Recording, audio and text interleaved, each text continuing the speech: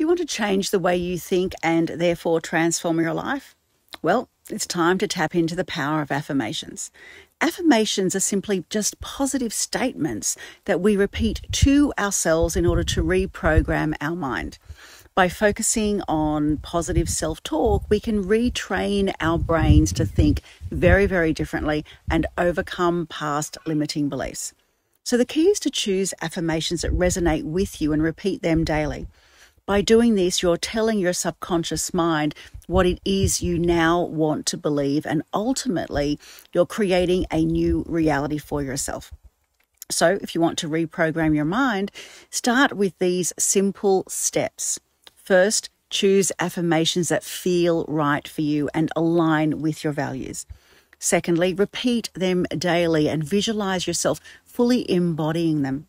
And finally, be patient and consistent. It takes time to reprogram your mind, but the results are worth it. Some of my favorite are I am the power in my world. I am a magnet for divine prosperity. Riches of all sorts are drawn to me. I live by example each and every moment in absolute health, energy, and vitality.